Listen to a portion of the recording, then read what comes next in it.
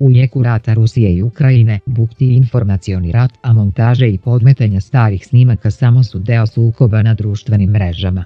Na zapadu je sada za to iskorišćena potresna fotografija bombardovanog putničkog voza u Grdeličkoj klisuri tokom NATO agresije 1999. Tako Amerikanci na društvenim mrežama bez rama objavljuju fotografije raketiranog srpskog voza, navodeći da je reč o ukrajinskom vozu koji su bombardovali Rusi. Zli Rusi bombardovali ukrajinski putnički avion, navodi se u jednoj objavi na Twitteru.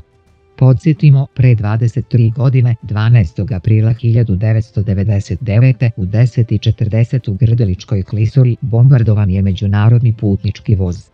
Avion NATO pakta ispalio je dve rakete i pogodio putnički voz koji je prelazio preko železničkog mosta na Južnoj Moravi u Grdeličkoj klisuri.